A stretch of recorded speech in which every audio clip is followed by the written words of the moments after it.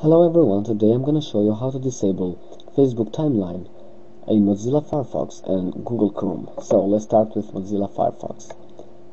As we see, this is a, a basic Facebook timeline page. Firstly, we have to go to Tools and then to Add-ons. After that, we have to search this User Agent Switcher at the Add-ons search bar.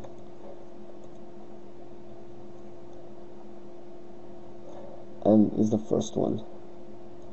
Then we have to install it.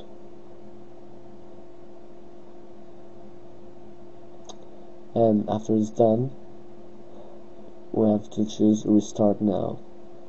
And we'll wait until Firefox is restarted.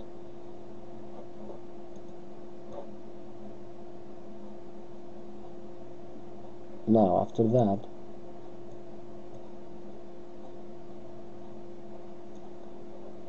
as we see we have to go to tools. And default user agent.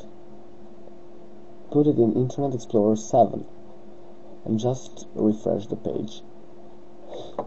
So this is basic the old Facebook profile. Now with Google Chrome things are a little bit different.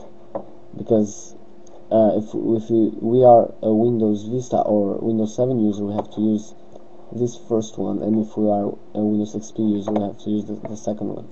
We have to copy this and then we have to go to our Google Chrome icon and press properties. After that we have to find for the target. And after Google Chrome we have to make a space and then to paste it to paste the code. And after that we have to apply and press OK. So this is the, the new timeline. After that we have to restart our browser.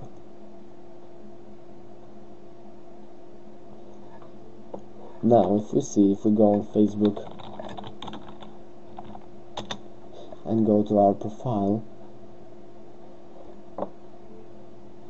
it's in the old style. It's the old template of Facebook.